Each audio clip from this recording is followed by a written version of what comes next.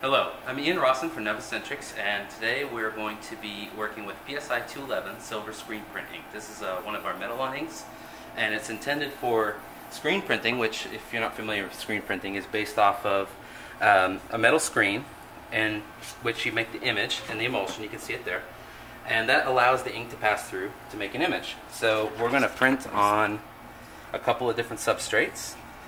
Um, and this ink is good for polyester, polycarbonate, a lot of different plastics, which would be uh, non-porous and probably flexible like that, or papers, which might be somewhat porous. This is actually a label paper, a lot like what you'd have on glass bottles for drinks and things like that, right?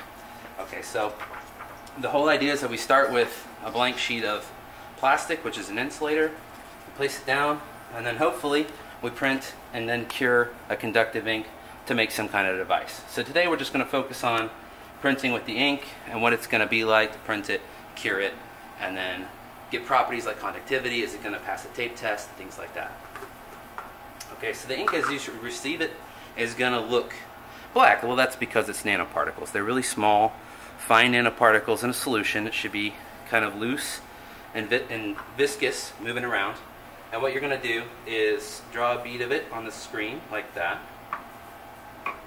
and then you're going to take your squeegee and you can just push the bead. So this is called flood. Right? You flood the ink so that it covers the entire image nice and smooth. Okay. You have your substrate there. A vacuum table is helpful to keep it nice and flat.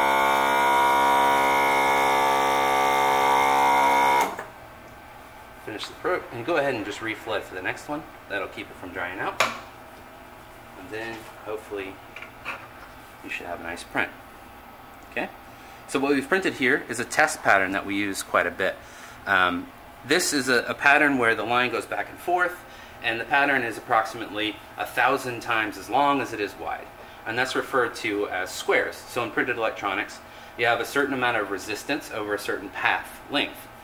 So you put those two numbers together and you get sheet resistance. Well, that will help you predict what will the results of printing different geometric shapes, what will the electrical properties be. So we'll just do it again, same idea on paper. Turn on the vacuum tape.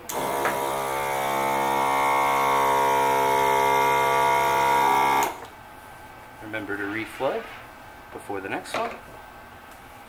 And then again, here, nice contrast there on the white.